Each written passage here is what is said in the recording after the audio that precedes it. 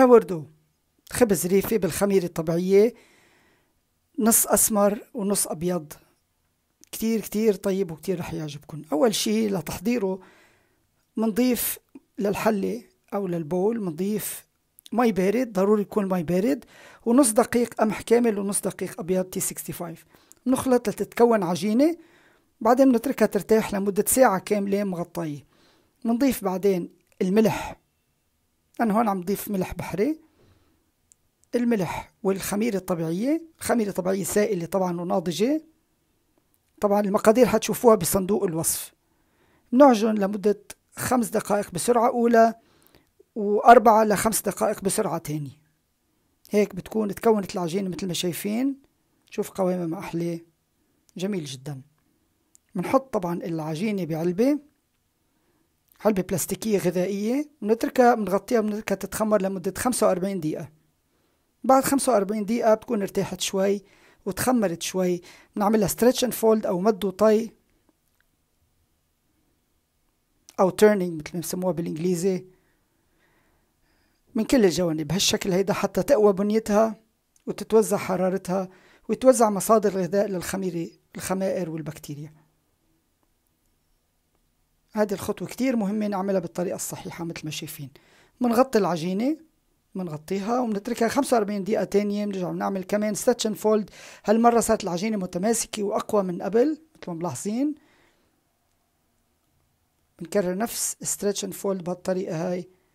شوف قوامها كيف ما أحلى صار قوي ومتين ومكتنز بالغازات. بنغطيها بنتركها ساعة إلى ساعة ونص زيادة حسب حرارة المطبخ. أنا تركتها ساعة ونص زيادة يعني مجموع التخمر الكلي ثلاث ساعات. بنزل العلب نزل العجينة من العلبة وبنقطع كل قطعة لكيلو. يعني أربع أرغفة. ممكن تعملوا نصف الكمية بتطلع آه، رغيفين. أنا عملت أربع أرغفة. نحاول قد ما فينا لما نقطع منقطع قطع كتير كتير صغيرة. بالشكل هيدا.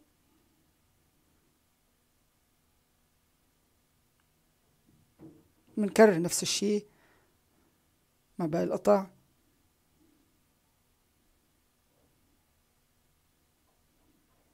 وآخر قطعة. تمام. هلأ بنعمل التشكيل الابتدائي أو ال pre-shaping أو ال rounding بهالشكل هيدا. طبعا بنحرص على إنه ما نمزق العجين بالمرحلة لأن هي مكتنزة بالغازات غازات التخمر. بلطف لكن بحزم. حتى نعطيها المتانة والقوة لأنه هاي المرحلة كتير أساسية بهيك عجائن رطبة.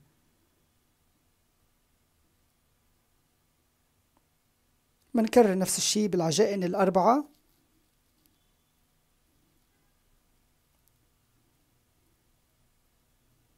طبعا أنا عم بشتغل على سطح مبلول بالمي. حتى العجينة قدر المستطاع ما تلصق بإيدي. يفضل ما نشتغل بدقيق بعجائن آه مثل من هالنوع.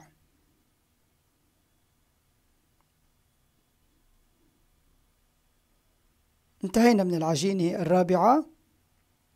بنحطها على جنب.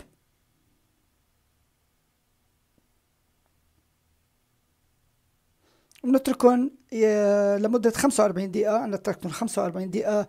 يرتاحوا بدون غطاء لأنه المطبخ عندي أنا رطب وإلا إذا كان في مكيف أو في تيار هوائي ممكن نغطيهم الأفضل حتى ما يكون في سكن أو يكون آه، يكونوا قشرة آه، من العجين وتشكيلهم بصير صعب. نشيل العجين على جنب ونبلش نشكل بأول عجينة منهن. طبعا نحرص على إنه يكون في دقيق لأن هاي العجينة رطبة. طبعا مش دقيق كتير حتى ما يدخل جوا العجين مثل ما شايفين أنا بشيل الدقيق الزائد لكن بخلي بخلي ما يكفي إنه العجين ما يلتصق بسطح العمل وبإيدي. حتى بإيدي عم تشتغل يعني ملاحظين إنه عم بشتغل بأطراف صبيعي أوكي بنشكلها بهذا الشكل بهالطريقة هاي. العجينة متينة وقوية ومكتنزة بالغازات.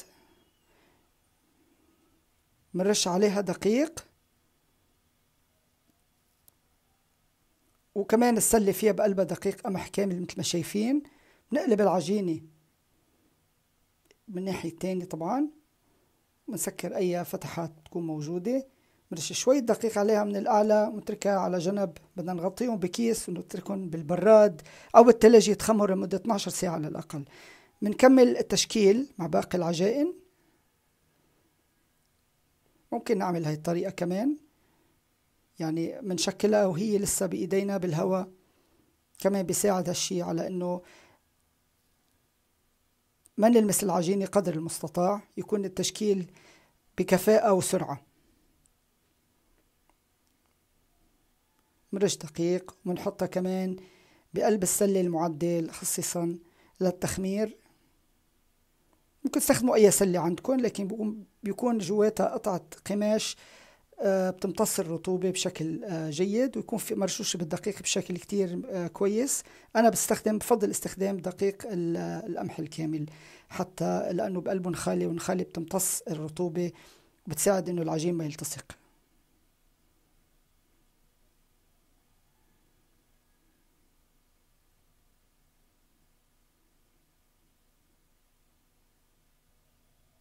نحط العجينة بقلب السلة.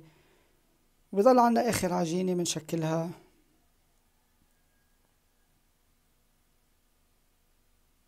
بهالشكل اللي بنحملها ونشكلها على طول. مباشرة نعطيها الشكل بنزل فيها على الأخير وبنسكرها من الأطراف حتى ما يفتحوا بالفرن. مرش عليها دقيق وبنحطها بالسلة. طبعا بنغطيهم كلهم. نحطهم بالثلاجة لمدة 12 ساعة. ليتخمروا تخمروا على مهل بتقوى بنيتهم بنفس الوقت بصير سهل إنه نخبزهم لأنه عجين باردين. نتركهم لتاني يوم الصبح. تاني يوم الصبح بنرش عليهم سميد أو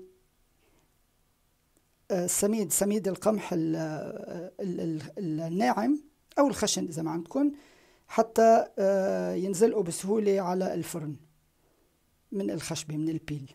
بنشرخهم بالطريقة هاي أو بأي طريقة أنتم بتفضلوها بنحطها بفرن محمى أي أعلى حرارة. طبعا أنا عندي آه، وعاء فيه بقلبه آه، قماش ومي مغلية بنزل شوية مي على سطح العمل بتركن ينخبز لمدة عشرين دقيقة مع البخار وعشرين دقيقة بدون بخار وبنطلعهم وهدول هن الخبزات صاروا جاهزين. نتركهم يرتاحوا لمدة ساعة على الأقل قبل ما نقطعهم وأرجيكم إياهم. لكن بشوفكم بعد ساعة. أتمنى تعملوا like و subscribe وتفعلوا جرس التنبيه ليوصلكم كل جديد.